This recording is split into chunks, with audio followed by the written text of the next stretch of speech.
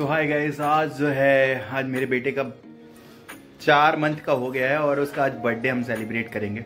चार मंथ का birthday celebrate कर रहे हैं आज आज जो है सभी लोग एक साथ हैं इसलिए आज हम बर्थडे सेलिब्रेट कर रहे हैं। और हम लोग रेडी हो गए हैं और रेडी हो गया हमारा। या सो so, अब लेट्स हमने केक केक मंगाया है। अब दिखाता हूँ आपको केक कैसा है अच्छा है अच्छा ही होगा। और मैं आ, कैंडल भी लगाएँगे। फोर मंथ के लिए क्या कैंडल लगाना, लेकिन यह है कि कोई फोर ईयर ना समझेगा, फोर मंथ ही समझेगा भाई। चलो लगाते हैं हम लोग।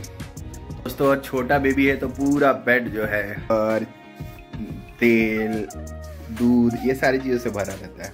ये रहा कुंज जी का मेरा बर्थडे का केक कैसे लगा? कमेंट सेक्शन में कमेंट करके बताइए। कुंज, आपको कैसा लगा? आप भी बताओ। बताओ, कैसा लगा? बोलिए बोलिए। कौन बोला? बोलिए। हाँ अच्छा लगा। अच्छा लगा मतलब। ये रहा फोर मंथ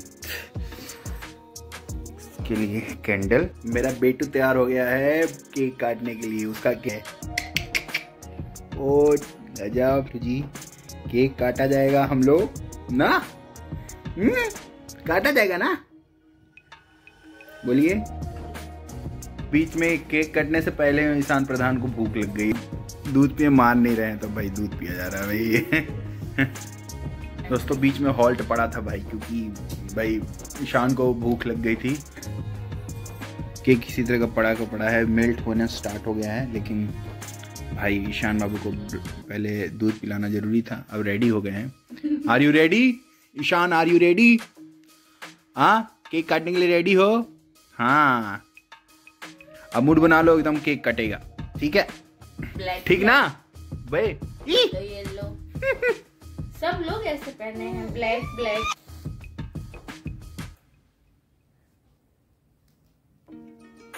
बाबू ईशान बाबू ईशान बाबू अब केक काटेगा अपना फोर मंथ वाला। आप बाबू स्टार्ट फूक दो बाबू। तो तुम्हारी जगह हमको ही फूकना पड़ेगा। Happy birthday Ishaan happy birthday Ishaan आप तो केक नहीं खाओगे केक का मज़ा हम ही लोग लेंगे। केक थोड़ा सा आपके चेहरे पर लगा दूँगा। मुंडी पे लगा दूँगा।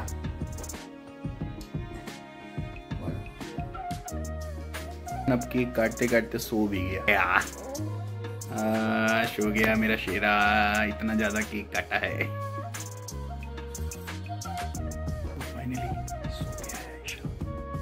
बहुत बदमाशी किया है।